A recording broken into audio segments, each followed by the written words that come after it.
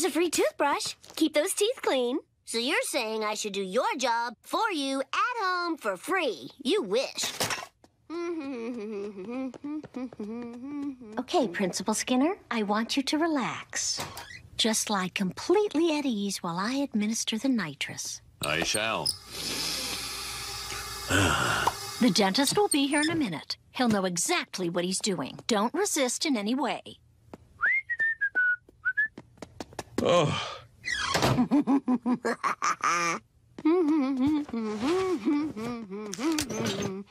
Good afternoon, Principal Stinkface. Dr. Bart.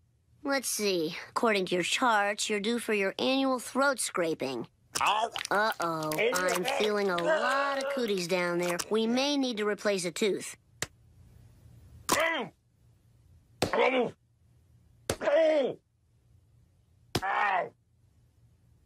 Now rinse. Finally, I'm gonna take an x-ray, so lie perfectly still for 20 minutes.